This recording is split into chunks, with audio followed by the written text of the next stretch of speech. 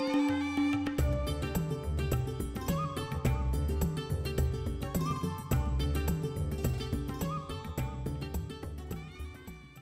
students, in this session we shall study about axiomatic approach to probability. Before we begin that, let us discuss the solution to the assignment problem. When three coins are tossed, then there are 2 to the power 3 that is equal to 8 possible outcomes. That is sample space is equal to h h h comma h h t h t h t t comma t h t h t comma t t h comma t t t. And a is equal to h h h b is equal to h h t comma h t h comma t h h. C is equal to t t t.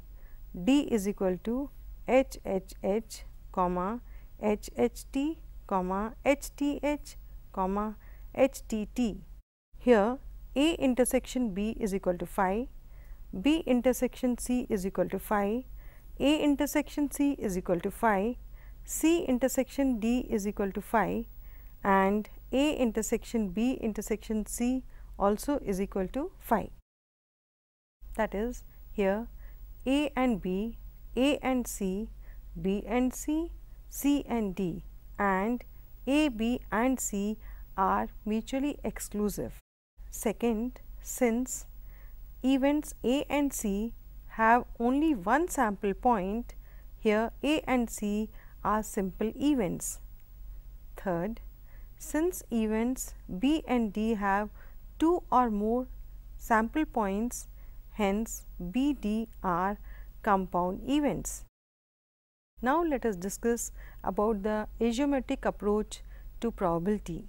In earlier sessions, we have considered random experiments, sample space and events associated with these experiments. In our day to day life, we use many words about the chances of occurrence of events. Probability theory attempts to quantify these chances of occurrence or non-occurrences of events. In earlier classes, we have studied some methods of assigning probability to an event associated with an experiment having known the number of total outcomes. Axiomatic approach is another way of describing probability of an event. In this approach, some axioms or rules are depicted to assign probabilities. Let S be the sample space of a random experiment. The probability p is a real valued function where domain is the power set of S and range is the interval 0 1 satisfying the following axioms. First, for any event E, P of E is greater than or equal to 0. Second, P of S is equal to 1. Third, if E and F are mutually exclusive events, then probability of E union F is equal to probability of E plus probability of F. It follows from third that P of phi is equal to 0. To prove this, we take F is equal to phi and note that E and phi are disjoint events. Therefore, from axiom 3 we get probability of E union phi is equal to probability of E plus probability of phi or probability of E is equal to probability of E plus probability of phi that is probability of phi is equal to 0. Let S be a sample space containing outcomes omega 1, omega 2 and so on omega n that is S is equal to omega 1, omega 2 and so on omega n. It follows from the axiomatic definition of probability that p omega lies between 0 and 1 that is 0 less than equal to p omega less than equal to 1 for each omega i belonging to S. Second, probability of omega 1 plus probability of omega 2 plus so on plus probability of omega n is equal to 1. Third, for any event A, P of A is equal to summation of all the probabilities P omega i, where omega i belongs to A. For example, in a coin tossing experiment, we can assign the number 1 upon 2 to each of the outcomes h and t. Probability of getting a head is 1 upon 2 and probability of getting a tail is again 1 upon 2. Clearly, this assignment satisfies both the conditions. That is, each number is neither less than 0 nor greater than 1 and probability of head plus probability of tail is equal to 1 plus 1 upon 2 that is equal to 1. Therefore, in this case we can say that probability of h is equal to 1 upon 2 and probability of t also is equal to 1 upon 2. If we take p of h is equal to 1 upon 4 and p of t is equal to 3 upon 4, does this assignment satisfy the conditions of axiomatic approach? Yes, in this case probability of h is equal to 1 upon 4 and probability of t is equal to 3 upon 4. We find that both the assignments 1 and 2 are valid for probability of h and t. In fact, we can assign the number p and 1 minus p to both the outcomes such that 0 less than equal to p less than equal to 1 and p of h plus p of t is equal to p plus 1 minus p is equal to 1. This assignment 2 satisfies both the conditions of the axiomatic approach of probability.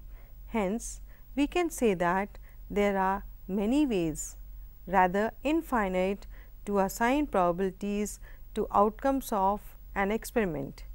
We now consider some examples.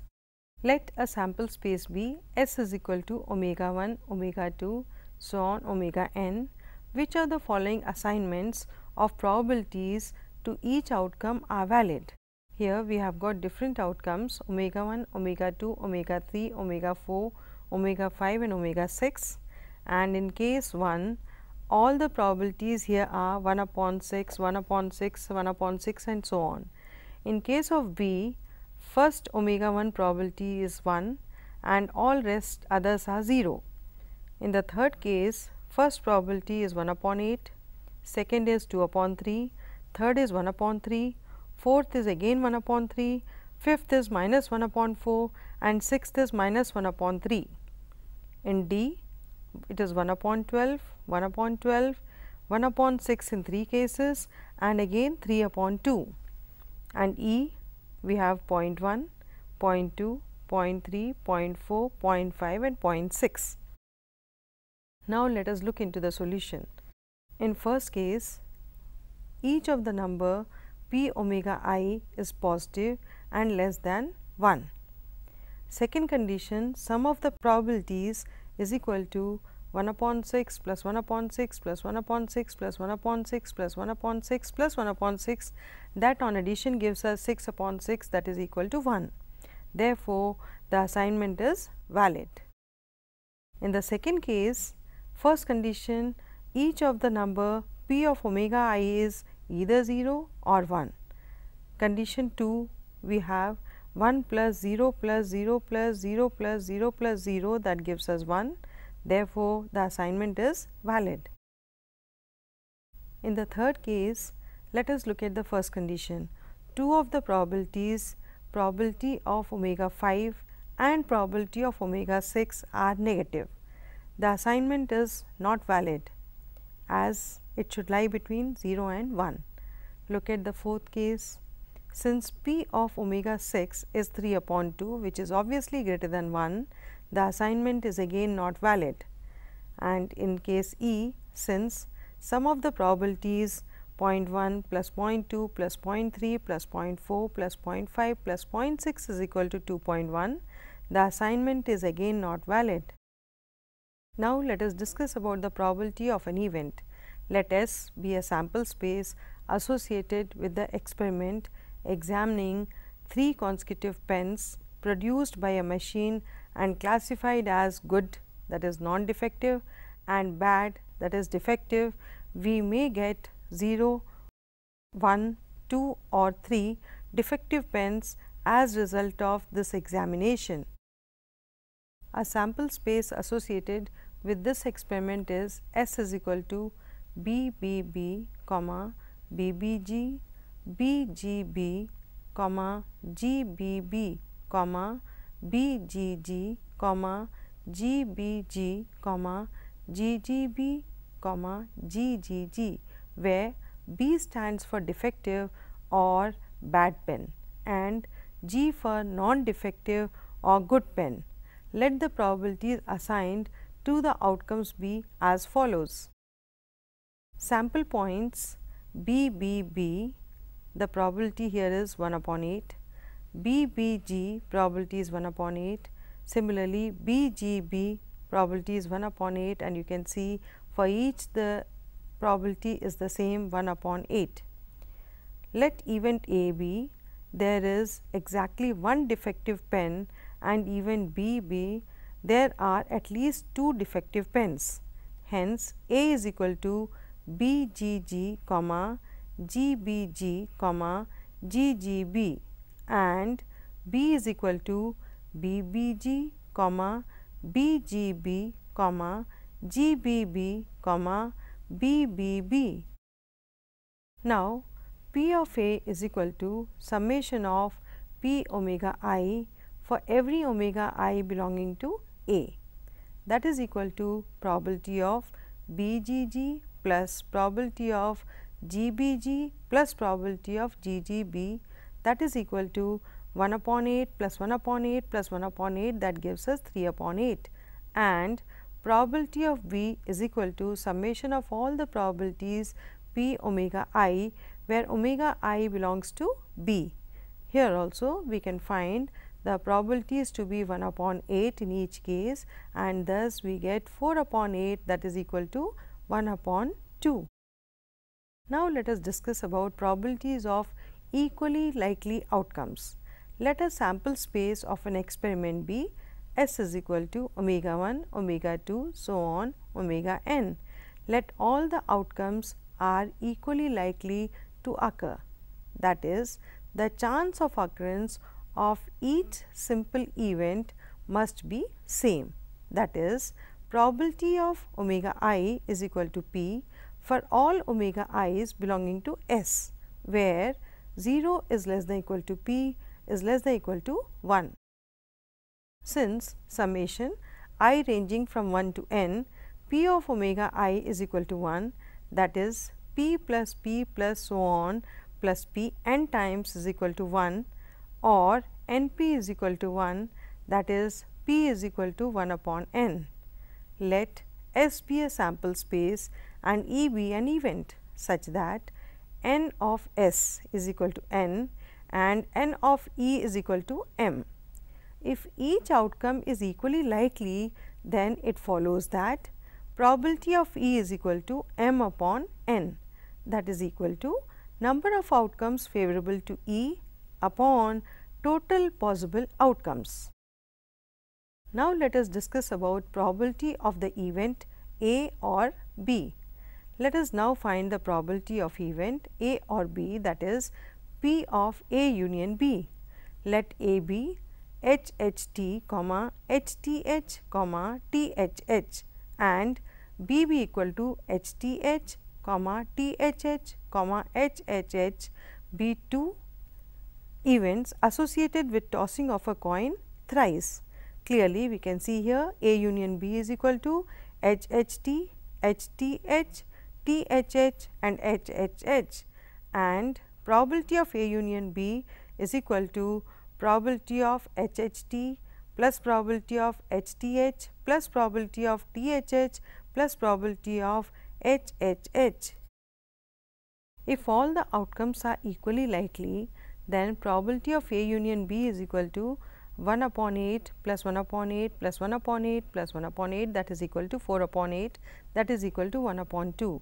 Also, probability of A is equal to probability of HHT plus probability of HTH plus probability of THH that is equal to 3 upon 8 and probability of B is equal to probability of HTH plus probability of THH plus probability of HHH that is equal to 3 upon 8. Therefore, probability of A plus probability of B is equal to 3 upon 8 plus 3 upon 8 that is equal to 6 upon 8. It is clear that probability of A union B is not equal to probability of A plus probability of B. The points H T H and T H H are common to both A and B. In the computation of probability of A plus probability of B, the probabilities of points H T H and T H H that is elements of A intersection B are included twice. Thus, to get the probability of A union B, we have to subtract the probabilities of the sample points in A intersection B from probability of A plus probability of B. That is probability of A union B is equal to probability of A plus probability of B minus summation probability of omega i for every omega i belonging to A intersection B that is equal to probability of A plus probability of B minus probability of A intersection B. Thus, we observe that probability of A union B is equal to probability of A plus probability of B minus probability of A intersection B. In general, if A and B are any two events associated with the random experiment, then A union B is equal to A union B minus A where A and B minus A are mutually exclusive and B is equal to A intersection B union B minus A, where A intersection B and B minus A are mutually exclusive. Using axiom 3 of probability, we get probability of A union B is equal to probability of A plus probability of B minus A. Take this as first equation and probability of B is equal to probability of A intersection B plus probability of B minus A. Take this as second equation. Now, subtracting second equation from first, we have probability of A union B minus probability of B is equal to probability of A minus probability of A intersection B or probability of A union B is equal to probability of A plus probability of B minus probability of A intersection B. This result can be verified by observing the following Venn diagram. Probability of A union B is equal to probability of A plus probability of B minus probability of A intersection B. You can see here this portion shaded portion represents A minus B and the common portion here is A intersection B. Similarly, this shaded portion represents B minus A this whole set is A and this complete set is B and this expresses the sample space of the set. If A and B are disjoint sets that is they are mutually exclusive events then A intersection B is equal to phi. Therefore, probability of A intersection B is equal to P of phi that is equal to 0. Thus, probability of a union B is equal to probability of A plus probability of B for mutually exclusive events of A and B. Now, let us discuss about probability of event not E. Consider the event A is equal to 2, 4, 6, 8 associated with the experiment of drawing a card from the deck of 10 cards numbered from 1 to 10. Clearly, the sample space is S is equal to 1, 2, 3 so on till 10. If all the outcomes 1, 2 till 10 are considered to be equally likely, then the probability of each outcome is 1 upon 10. Now, probability of A is equal to probability of 2 plus probability of 4 plus probability of 6 plus probability of 8 that is equal to 1 upon 10 in each case and we add to get 4 upon 10 that is simplified as 2 upon 5. Also event not A that is A complement is equal to 1, 3, 5, 7, 9, 10. Now, probability of A complement is equal to probability of 1 plus probability of 3 plus probability of 5, probability of 7 plus probability of 9 plus probability of 10 that is equal to 6 upon 10 that is obviously 3 upon 5. Thus, probability of A complement is equal to 3 upon 5 that is equal to 1 minus 2 upon 5 that is equal to 1 minus P of A. Also, we know that A complement and A are mutually exclusive and exhaustive events. That is A intersection A complement is equal to phi and A union A complement is equal to S or probability of A union A complement is equal to probability of S. Now, probability of A plus probability of A complement is equal to 1 by using axioms 2 and 3 or probability of A complement is equal to probability of not A. That means, probability of A complement is equal to 1 minus probability of A. So, students hope you enjoyed learning the chapter on probability. Thank you.